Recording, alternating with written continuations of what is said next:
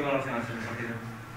Bueno, pues partido que ha estado marcado por, por un gol muy, muy tempranero de, del Celta B.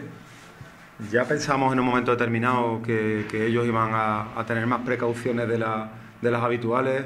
La alineación prácticamente con cuatro defensas muy defensa, pues pensamos que iba a ser así. Eh, con Eker en el 11 que iban a tener alternativas más directas, pero ese gol eh, nos ha hecho jugar un partido diferente, los tres puntos ya no van a volver, ni la posibilidad de, de ganarlos ni de empatar, pero sí que nos tiene que servir el partido este para aprender en en el futuro. No nos habíamos visto en esta situación en lo que va de liga, el partido demandaba otras características que nosotros pues o por falta de acierto, por el buen hacer de, del Celta, porque ha sido un partido también trabado, de mucha interrupción, pero no, no hemos sido capaces de, de manejar esos recursos que, necesitamos.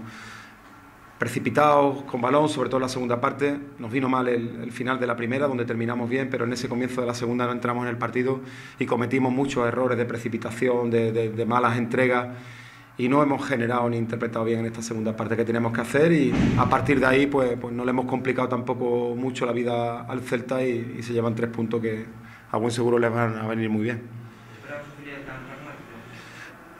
En la previa quizás teníamos dudas cuando hemos visto la alineación hoy, pues ya teníamos más claro que, que, que, ese podría ser el estilo. Ya digo, era muy marcado en la alineación lo que tenían intención de hacer, se guardaban ahí jugadores como Pastrana seguramente en la segunda parte para, para poder manejar otras alternativas y se le ha puesto el partido realmente donde querían. Un gol tan tempranero pues ha acentuado aún más esa intención y, y a nosotros pues nos, nos, lo ha dificultado.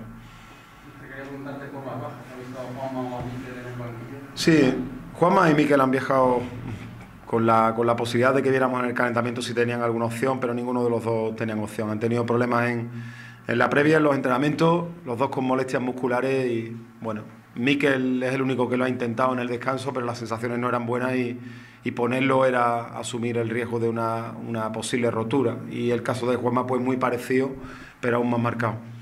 Y el caso de la buena noticia dentro de la derrota Sí, eso es. Lógicamente no eh, les falta el, el, ritmo competitivo, pero bueno, aún así han estado en la segunda parte en el campo, han dado la cara y, y ojalá que, que, podamos disponer de ellos durante la semana y la semana que viene ya con, con quizás una con mejores posibilidades porque tengan un, un ritmo de entrenamiento mayor. Nada, no hay que hacer ni, ningún drama, pero sí que es verdad que, bueno, nos tiene que servir este partido para aprender. Esperábamos todos más de, nuestro equipo en la, en la, segunda parte. Creo que si nosotros agarramos mejor el partido, el equipo hubiera tenido opciones de al menos empatar, pero en el debe nos queda el saber jugar mejor este tipo de partidos.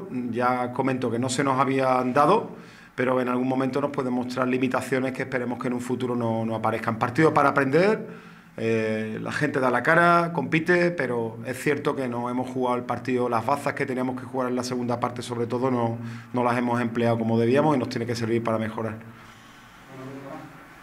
Mira, gracias.